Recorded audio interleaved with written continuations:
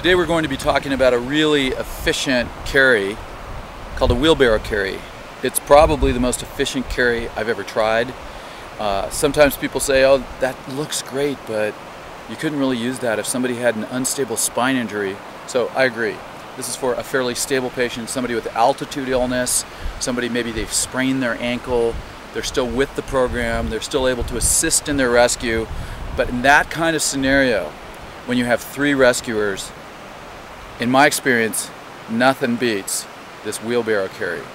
Today we're going to ask Kaylee to be our victim and I'll show you how to do this rescue. So let's get, uh, in this case I'd, I'd probably get Nick and Lars back here and just face this direction. Good. And uh, you're going to be the victim. So I want you to put your hands over these guys' neck. Now again, she is conscious. She has severe altitude illness, whatever. So she's still with the program, able to follow commands, and we're gonna get Ari in here.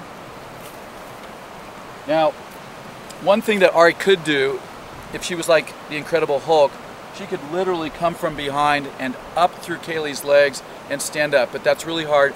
So it usually helps if somebody can just assist, and we'll get Kaylee, you stand right here, you're going to actually wear Kaylee like a backpack. We're going to get her legs up over your shoulders. So Ari doesn't need to stand up straight. If she does that, it puts a little bit more weight on the rescuers. She can also hunch over a little bit, take more of Kaylee's weight, and that puts a little bit less weight on the rescuers. So it just depends on who's strongest. So why don't you guys try moving ahead.